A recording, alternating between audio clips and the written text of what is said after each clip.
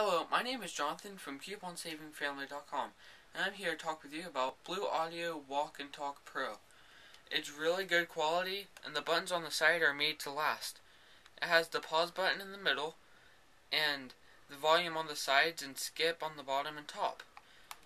As you can see, it comes with a switch to turn it on and off and a really long rechargeable battery.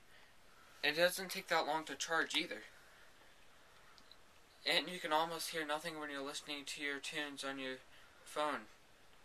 For more information, information and reviews, visit us at couponsavingfamily.com. Bye.